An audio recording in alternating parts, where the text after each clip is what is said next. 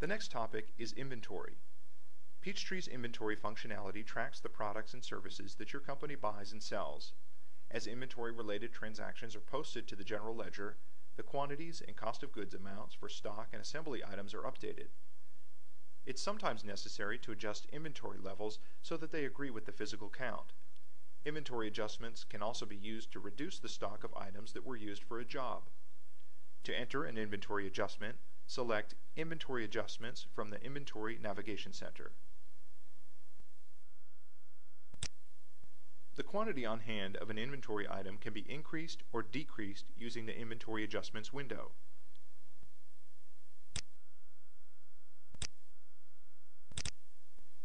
To increase the quantity on hand, enter a positive number into the Adjust Quantity By field and enter the cost of each item in the Unit Cost field.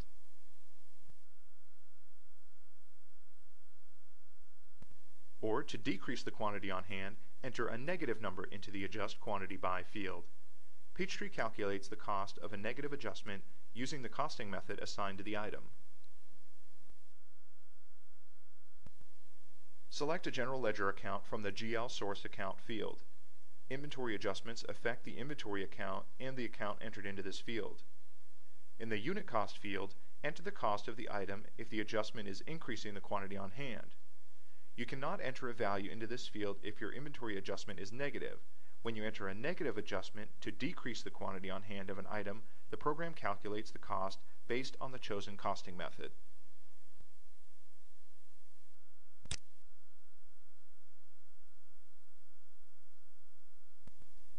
Inventory reports provide both historical information and information about the current status of inventory items. To preview or print these reports, select View All Inventory and Services Reports from the Inventory and Services Navigation Center.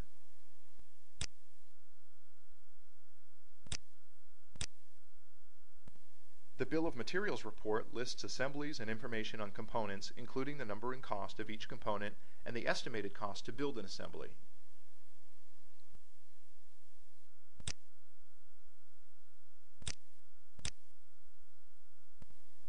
The Cost of Goods Sold journal lists the total cost for each item sold at the time of the sale and the accounts that were debited or credited.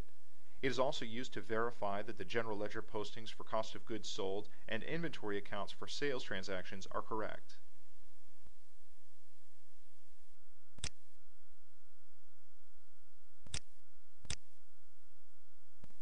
The Inventory Profitability Report displays each stock or assembly item with units sold, costs, gross profit, and gross profit percentage for the selected accounting periods.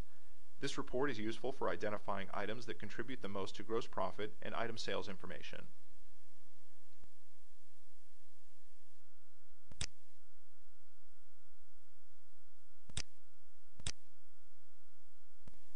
And the items list provides a list of inventory items and assemblies.